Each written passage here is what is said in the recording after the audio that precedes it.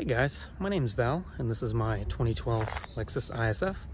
I don't usually do this kind of video, but I figured I'd answer some questions and uh, trying to show you what kind of mods I have and all that. So, hope you enjoy. Let me know. Thanks. So this is the 2012 Lexus ISF. It's my second one. I used to have a 2008 and from 08 to 2014 they made about 5100 of them so fairly a rare car um, on my 08, I just had a catback, a tune, um, some coilovers, you know, some cheap summer tires, and it was great fun. I had it for about three years, 70,000 miles. Bulletproof car, just a fantastic car. And I liked it so much, you know, I wanted to upgrade. And I test drove a lot of cars, and I figured just a newer ISF was the one for me.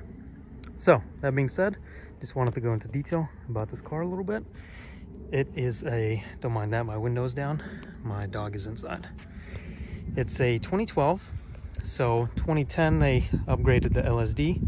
2011, they updated the suspension a little bit, uh, some handling, updated headlights, instrument cluster, a couple other things. But uh, overall powertrain is pretty much the same. So, but the LSD helps a lot. And then I've got PPE catless headers. I've also got a X-Force Varex dual mode catback exhaust.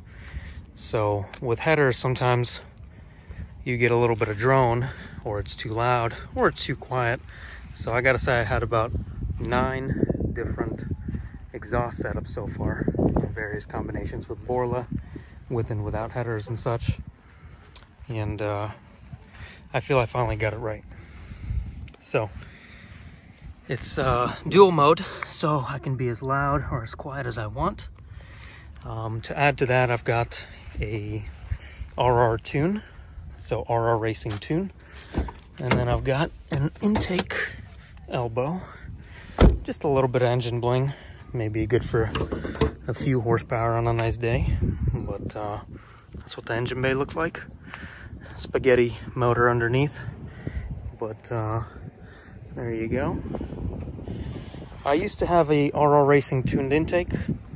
Uh, the car came with it because it came with headers and exhaust and um, had a Borla originally. But the tuned intake, for some reason, I had some issues. I'm not sure. I could never quite narrow it down. But uh, anyway, I did without it and it works just fine. Uh, to add to it, I have HKS coilovers. So I should have started from started the video um, with the notion of saying I always mod my cars to be sort of OEM plus, as in I don't want to grab too much attention, but I do want to have it modded, you know, up upgrade the handling a little bit, the power, the sound, the look, but I don't want to have every cop and, you know, angry Karen looking at me. So, um, just a few minor modifications as such. Uh, so power, again, PPE catless headers, catback, tune, intake. For aesthetics, we've got some Rays Graham-Light wheels. And these are 19 by 9.5 plus 45 square. So it's front and rear the same size. And they are in HS gun metallic. So you can kind of see some of the flake inside. So great looking wheel. And they were wider, but also lighter than the stock forged BBS wheels. So even though they're cast, great upgrade in my opinion. Tires, we've got Michelin Pilot Sport 4S and Super Sports in the rear. A reason being I have 255-35 tires up front, 285-30 in the rear but unfortunately the P4S don't make them, don't come in that size rear. So you do what you do. Anyway, um, calipers, or calipers are OEM, but painted sort of a candy red. And then, as you can see, two-piece rotors in the back. Not sure what pads as it came with it, but in the front, I changed the rotors to Brakenetic with Project Mu type PS pads and they are fantastic. I can't say enough good things about them. They're a street pad, but they have quite a good bit of bite, and also not really any dust. I mean, uh, I can go a week or two of driving and, you know, obviously the wheels help, but they really don't dust anywhere near as much as OEM Brembo. So, can't say enough good things about it. Um, let's see, aesthetics, HKS coilovers, like I said.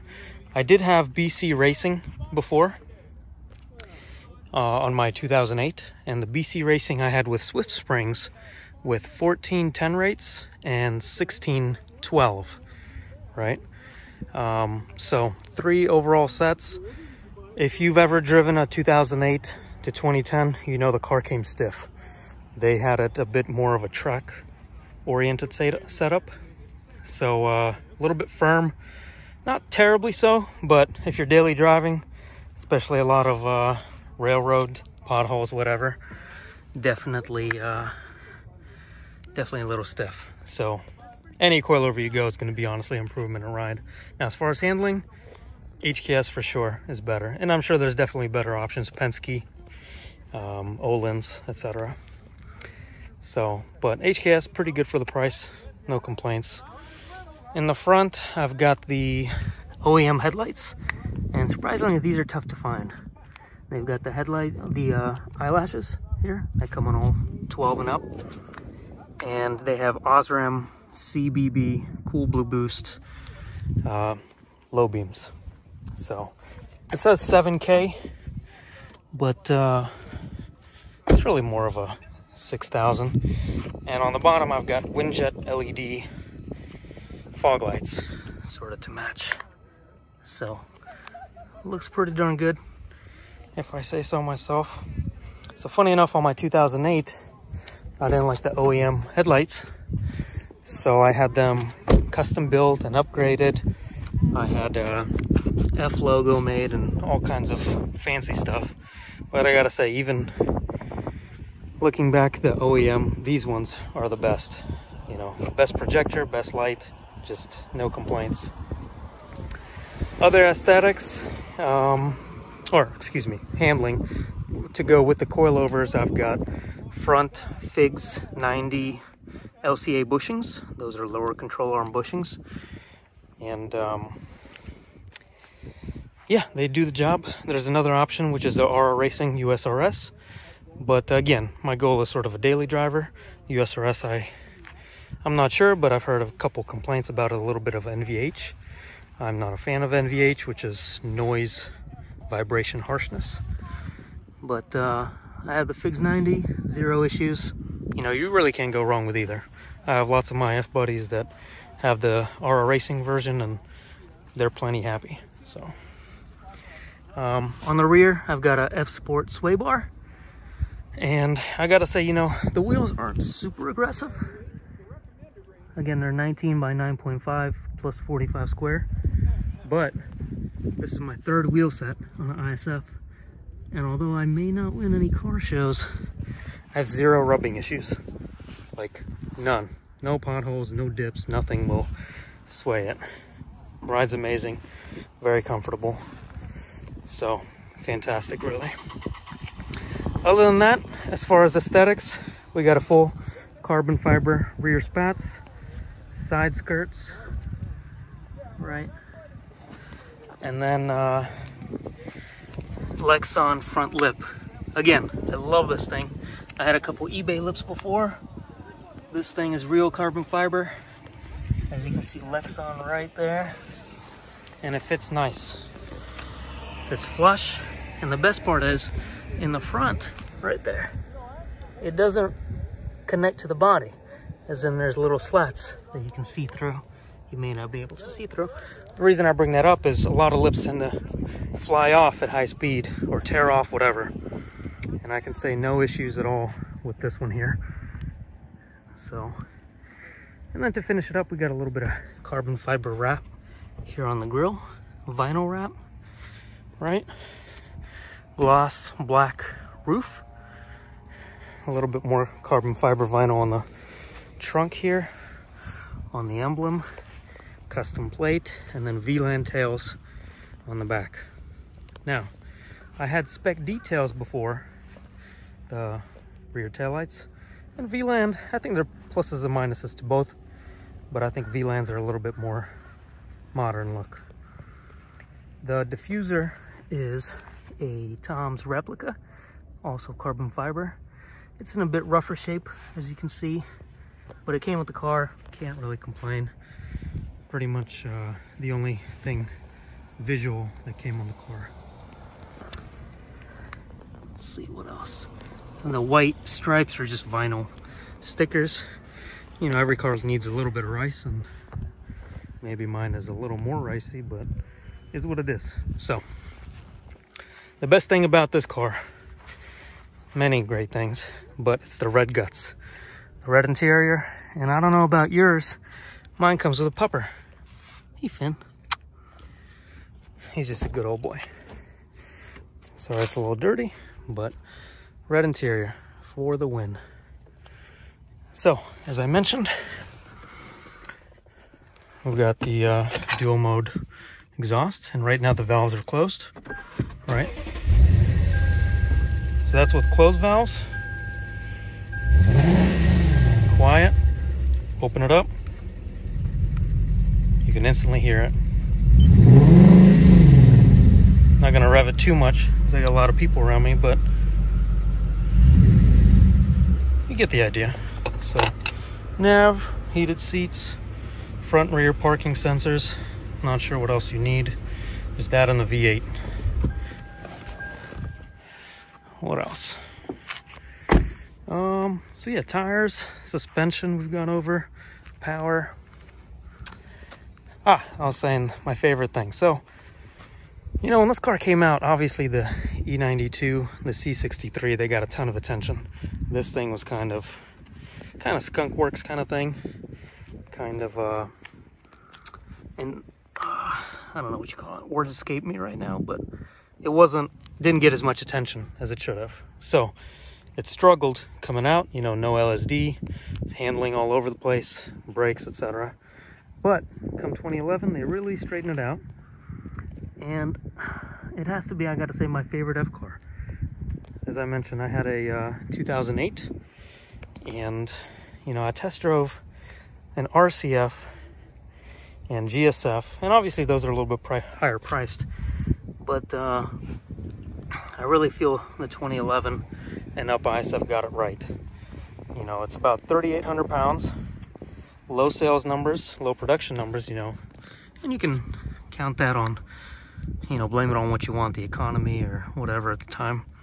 But uh, it kind of sucks because 2011 and up is what you really want. And of the 5,100 total made, there's less than 2,500 11 and up. I mean, in 2014, they only made like 86 of them. So fairly rare. I mean, prime competitor, the Chevy SS. Fantastic car, maybe a little boring looking. Not to say this one isn't, but people complain it didn't sell.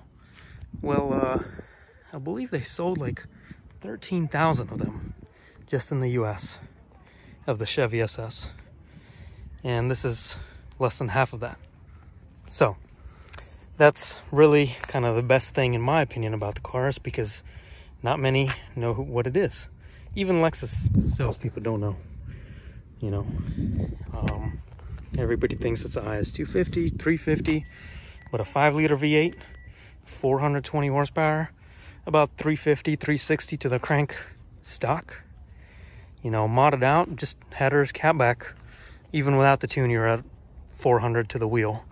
Add the tune, maybe 410, 420, and uh, add the tuned intake and a little bit E85, E-Mix, E30, whatever you want to call it. And that thing boogies. I think uh, the max I've seen is about 435 to the wheel.